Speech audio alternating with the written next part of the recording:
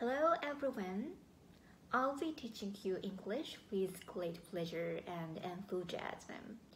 Join me in my classes and I'll make sure that you learn something new by the end of each lesson. Thank you and see you soon.